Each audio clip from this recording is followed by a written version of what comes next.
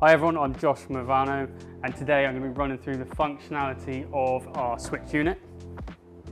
The unit has three different setups for the top and arguably the defining feature is the pull-out drawer here. So to pull the drawer out, it's just a case of lifting both these thumb latches here, pull it all the way out and it will lock in the outmost position. The drawer is good for 180 kilograms, so it is suitable for tradespeople, tools, camping, any scenario really. Release there, pull the latches back up and push back in.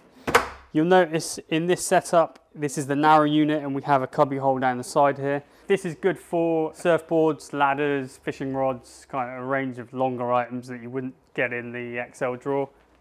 We also sell a dog crate that goes in here, suitable for small to medium dogs, entirely toolless to install and remove and takes about two minutes. Beyond the drawer, we've got a, a rear flap at the back here. This is purely for quick access to, for anything in the drawer or down the side here. On from there, we've got two legs. These legs have got a dual purpose. First and foremost, they become the supports for your bed should you decide to remove the seats or if you've got a panel van and haven't got any seats at all. The combination of legs will work for any configuration of the seats. So you can take one out, you can take two out, take all of them out, and it'll still work. So the secondary function is that they've got a very gradual taper on them. So when you push them through and store them in this position, they push these double knuckle hinges onto full extension and therefore reduce any possibility of rattling. And from there, I'll take you around the side. So to pull the bed out now, it's just a case of giving it a little lift and slide out. So pull on out and your bed is made. So the bed here is in a short wheelbase is 1900 long, which allows a full, full size double mattress. You'll see in this setup, I've got the two seats in here with a plus one removed, in which case I would use one of the legs to support the, uh, the unsupported side.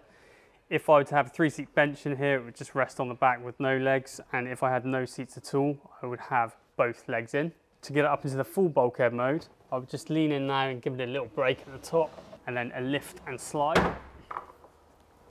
With the bulkhead up like that, I'd just hold it up and the line here, which is draped behind the backs of the kombi seats usually, just goes into this little notch and into the opposite side of the cleat.